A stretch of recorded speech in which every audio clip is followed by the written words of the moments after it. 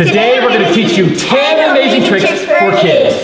Hey, wait a minute, where did it go? Stick around till the end of the video for our favorite trick. And make sure you stick around to the end of the video for an awesome giveaway and give a big thumbs up for my friends for helping us out. Let's do this. Everybody loves blowing bubbles, and if you get the moisture on your fingers just right, you can catch a bubble.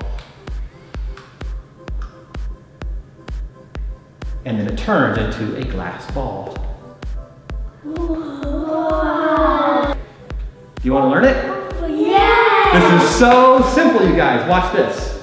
All you have to do is have somebody blow some bubbles, or if you have one of these fancy machines, just blow out some bubbles. Have this hidden in your hand. Just hide it in your hand, in a fist, right? Go like this. And then when you see one that's about the size of your ball, just replace it with this. Just go boop. Yeah. Let me show them up close exactly how to do it. You want to try it? Yeah. Okay, here you go. What?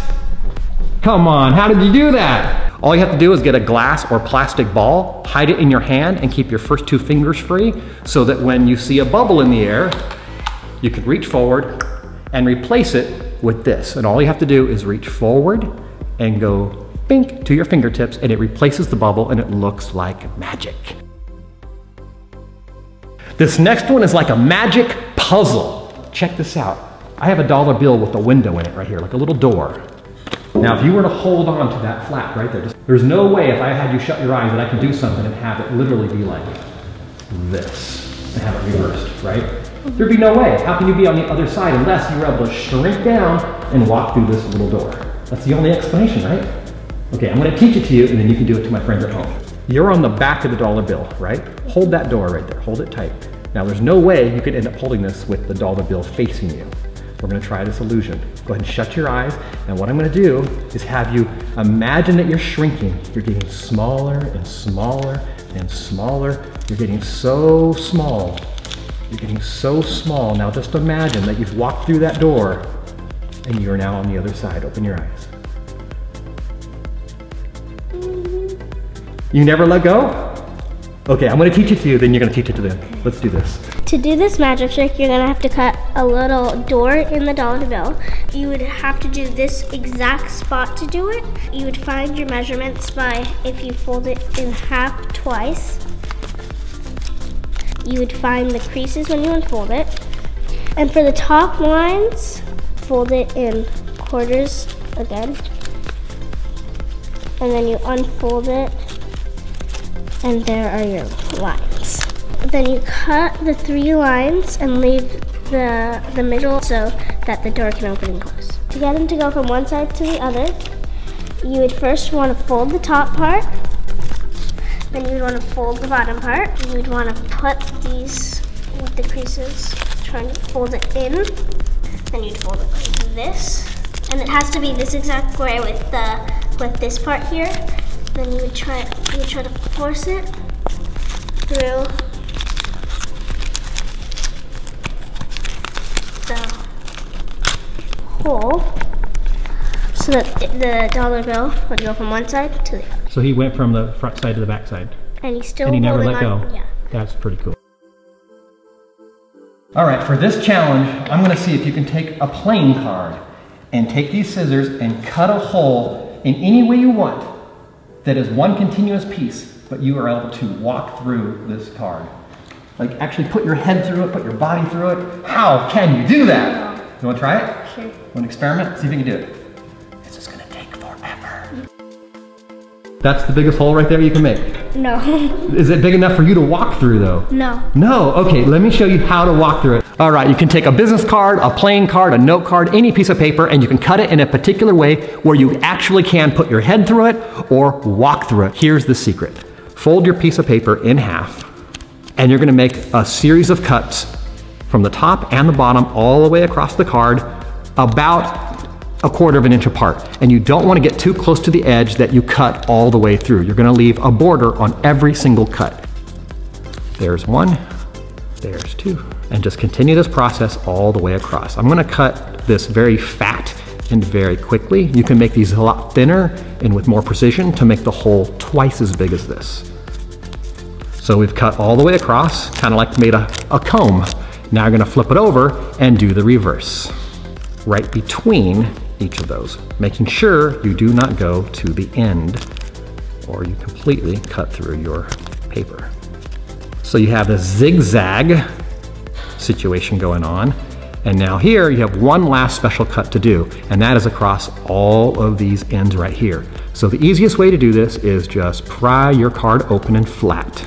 And once you have your card or paper back open, you're gonna cut all through the middle except do not touch the outside two edges. So get your scissors underneath the first edge, do not cut it, and make sure you cut exactly in the center all the way across until you meet that other outside edge, leaving it alone. At this point, you have an accordion, which you can open up really big, big enough to put your head through or walk through, especially if you make your cuts twice as thin as this, you can make it two, three feet round. How cool is that? It's fitting through your head. Yeah. I have a joker and a queen. I'm gonna put these cards behind my back and you have to try to guess which one I pull out. Let's see. I'm gonna take this one out. What's behind my back? The queen or the joker? The queen. The queen behind my back? No, it's the joker. Oh, so close. Here, let's do it again. I'll take the joker and the queen. I'll put both cards behind my back.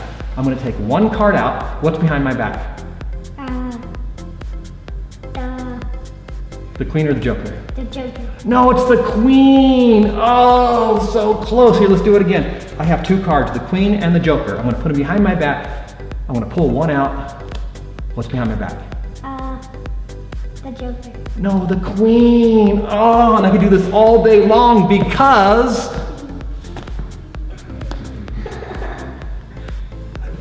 there's a secret. Is this just messing with your eyes right now? Let me show you guys how to make this. So here you have two cards, and then one, one is face to face, so they're both the same, and one is back to back. You glue them both together, back to back and face to face. You don't need to do the Queen and Joker.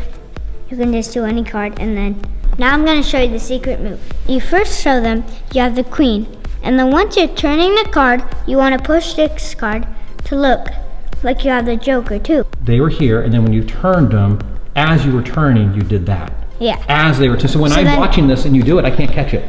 So that's why it's hard. I want to show them. So okay, here it is. Now go super slow. Show them. And now you've already. Wow. Okay, there it goes. Perfect. So if you do that fast, it fools the eye. That's crazy. And then now it's the actual trick. You put the two cards behind your back, and then you say, I'm gonna bring one card out, and guess what card it is? And I'm looking at nothing. Oh, but you pretend you're looking at one of the cards. Got you. Like, Okay. oh. Okay. And then you go, what card is behind my back? Uh, Queen. Joker. Ah, how did you how did you pull the right one out? Because I know what way I put the two cards. And then once you say card, and if it's the right one on this side, then you want to flip it around and say, oh, it was the Joker. Or if it was, if they said Joker, you want to go Queen. And you can do this trick again and again and fool everybody. Oh, that's how you do it! While you're here, make sure you're a subscriber. Okay, so I'm gonna, I'm gonna do a card trick. So I got this new deck. Open it up. Here, you can shuffle these cards. Okay. Make sure they're all different. Yeah. Shuffle them and then look at the bottom card. I'm not looking. Can you put put them back in here? And then close it. Okay. So you made sure I did not look at your cards. Hmm. Okay, so imagining that your your card's a little bit like a, a darker color. Yeah. Does it have something to do with, you know, it's not really like numbers, but it's like Yeah. like, yeah. And is it, is it like uh, the spades? Yeah. Is it a jack? Yes. Oh, there go. Okay. Are you amazed? Yeah.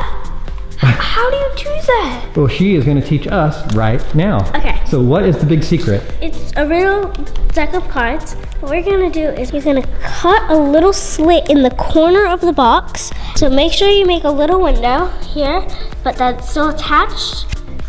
And so you can see a little bit of the card right there. So then you're gonna open up the cards. You're gonna have them shuffle it, shuffle it, so that's not suspicious at, at all. I'm Here, I'll shuffle. shuffle them. Okay, you can shuffle them. Okay, So I know my bottom card. Okay, I have it. And then what do you do? Okay, then I'm gonna have you put them back in here, but I'm gonna cover this part. So I'm literally just sticking it in there and I know the bottom part and in a second you will. Close it up. Oh, I should close it, sorry. That's fine, because you Okay, and then I'm gonna really quickly, I'm gonna open the little slit I had made in the box, but not far enough so that they know that there's something back there. And then you're gonna really quickly try to read the card. Once you know the card, just put the deck down.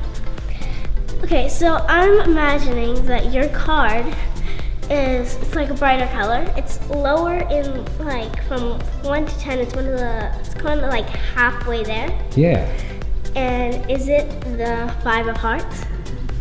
I think it is. But the thing is, you gotta make it sure they don't see you opening this slit, and you gotta get the the thing fast enough so that you don't Or- keep looking at the Or box. once they give you, once they give you the box, you can just go like that, and while you're setting it down, once you already saw the card, you just say, "I'm thinking." So another tip when you're doing this trick is you want to exaggerate it a lot more so it seems like more of a mind reading trick than um, just a regular card trick. Just guessing the card. It's more Yeah. like you're fi- you're really struggling to get it. You're, yeah, you want to make it seem like everything is all random.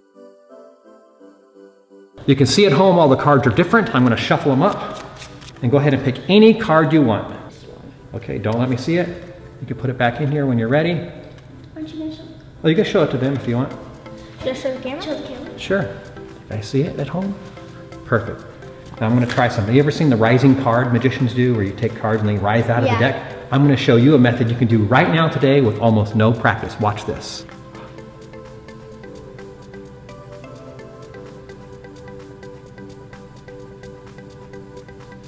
Is that your card? Yeah. What? You want to learn it?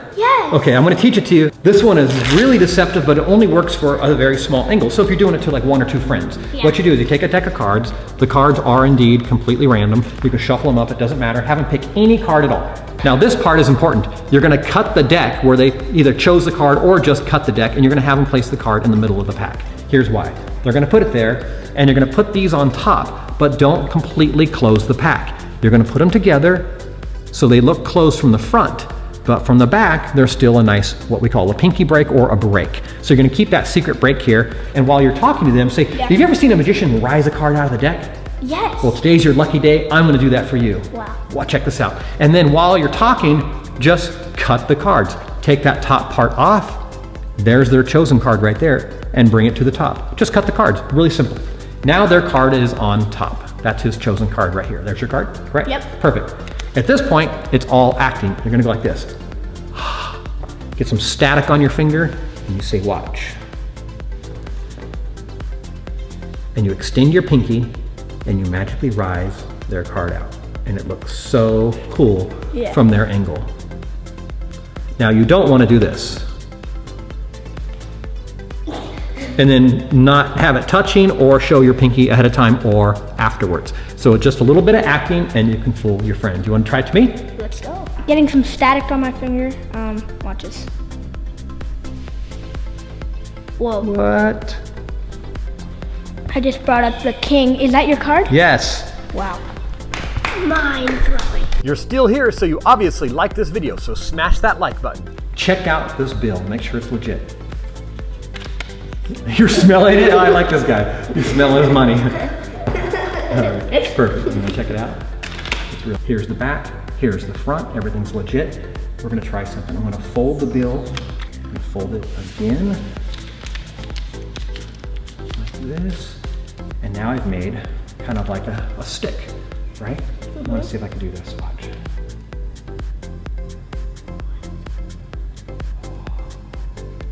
Isn't that crazy? And you're probably thinking there's something sticky on my hand. You can see the bill. You check out my thumb, there's nothing there. Isn't that weird? you wanna learn it? Okay, so I'm gonna show you the secret and then you're gonna do it and teach them at home. You're gonna show them the dollar. It's a regular dollar, but you're gonna hide a nickel in your hand.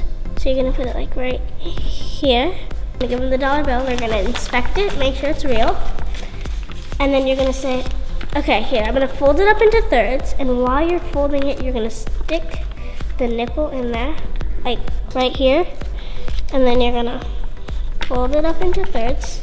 And then you're gonna basically try to balance it.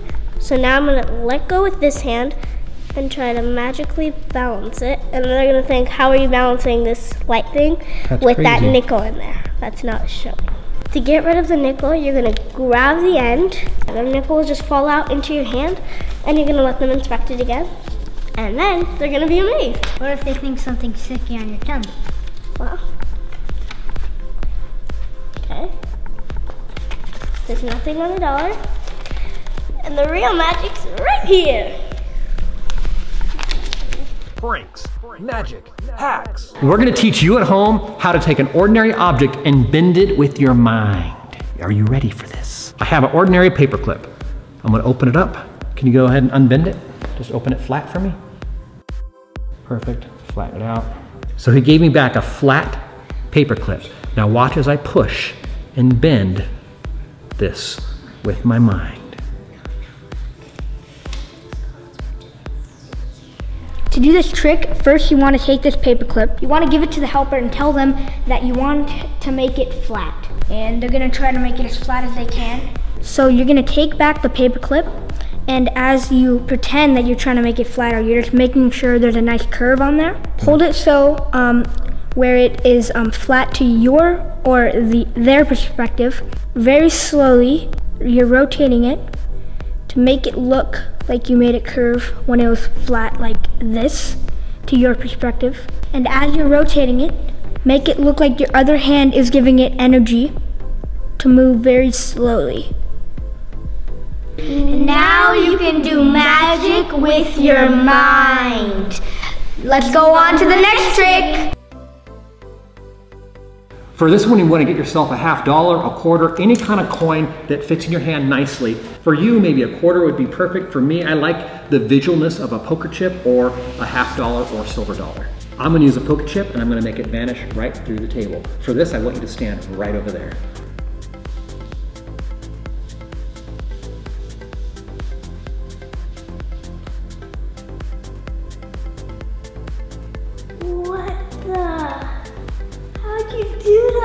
You're gonna show this quarter.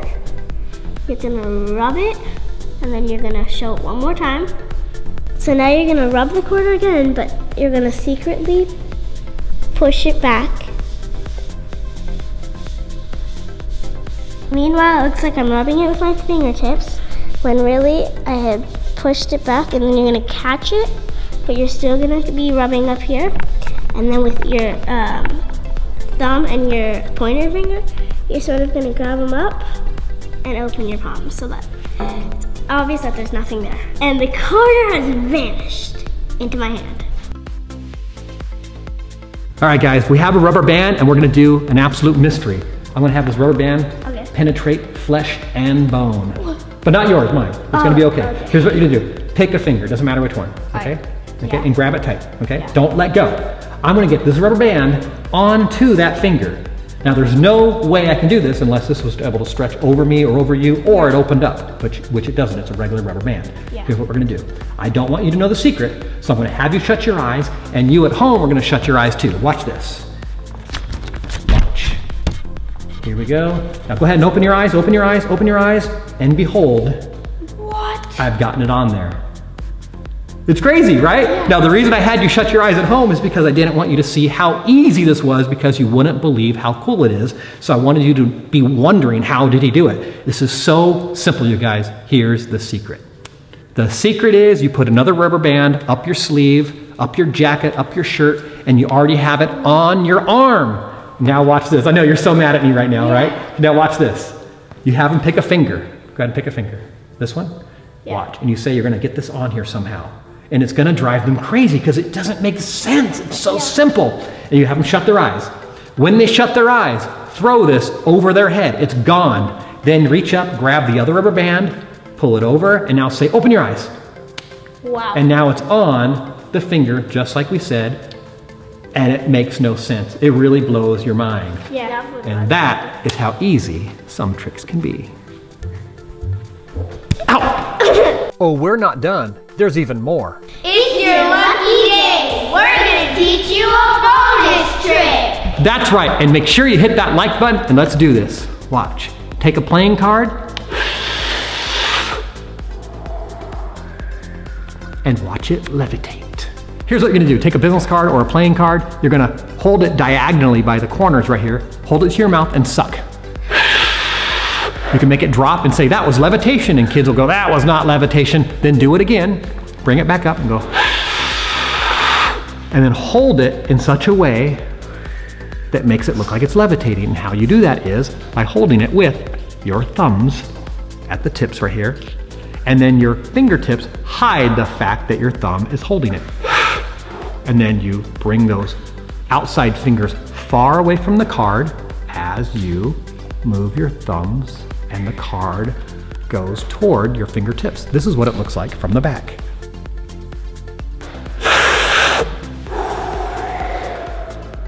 Make sure to subscribe to the best magician on YouTube.